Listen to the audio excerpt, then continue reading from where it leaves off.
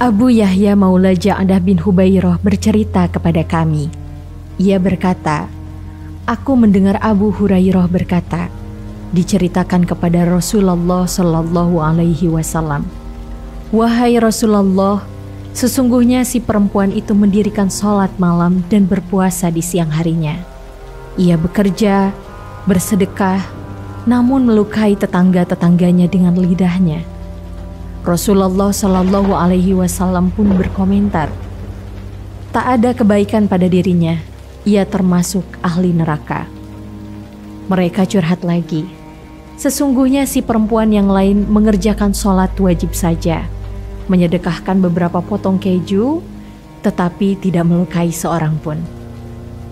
Ia calon penduduk surga, komentar Rasulullah. Riwayat Imam Bukhari dalam Adabul Mufrad dari Abu Hurairah nomor 119.